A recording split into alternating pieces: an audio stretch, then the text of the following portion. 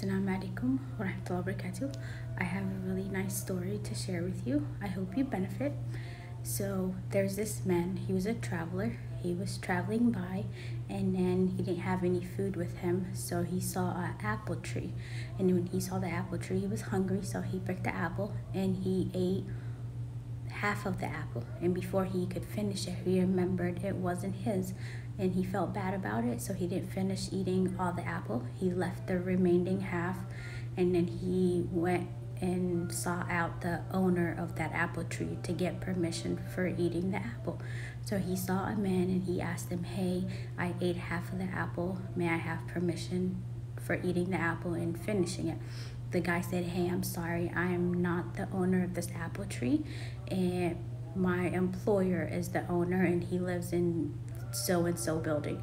So go to him and ask permission for only he can forgive you and give you permission for finishing the apple. So he went and sought out the king. So he was a king, a man who owned a lot of land. So he went and sought out the owner and he said, Hey, I apologize. I was traveling, I was hungry, and I ate half of this apple and I have the remainder can you forgive me and give me permission to complete it? And the guy said, Hey, I, he said, first put down the, the half that you didn't eat. And he said, I will only forgive you for the half that you ate if you complete my request. So the king basically put a stipulation out if you want to get permission from me to finish the apple, this is what you have to do. So he was a believer, a Muslim believer. So he said, Sure, what do I need to do? So he said, You need to marry my daughter in order for you to get my forgiveness and for me to forgive you. Otherwise, on Judgment Day, you will have to be questioned for eating something that wasn't yours. And subhanAllah, like how many of us really get permission to do things we want to do, or may Allah forgive us. But, anyways, he went, he thought about it. He said, You know, I don't want Allah to judge me for this or not to forgive me, so I'm going to marry his daughter. And then before the king completed that request, he said, My daughter does not see, so she cannot see. My daughter doesn't have limbs, and my daughter cannot hear. So the man was like, Oh my God, for eating this small apple, half of the apple, I need to marry this king's daughter that cannot see, cannot hear, nor have limbs because he was a true believer, he said, Yes, I will marry your daughter to gain your permission. And the king said, Once the nikah, once the marriage is uh, completed, then I will forgive you for that apple. So they, long story short, they did the marriage. He married her. And then the king said, Now I forgive you for eating that apple, that half apple. So now that you're married to my daughter, her room is there. Go ahead and, you know, she's your wife. Go ahead and meet your wife, basically. So he went to meet his wife, and then he was just like, SubhanAllah, I can't pass my salam to this woman, for she cannot hear me, and she can't see me, and she doesn't have any limbs. Like, what terrible thing could I have done to, like, you know, attain this? Basically, he was like, you know, tawakkal Allah. He had you know, faith in Allah. So he went and he basically passed his salam. He went in the room, he said, Salam alaikum. And then he was just shocked to encounter this beautiful young woman. She was very beautiful.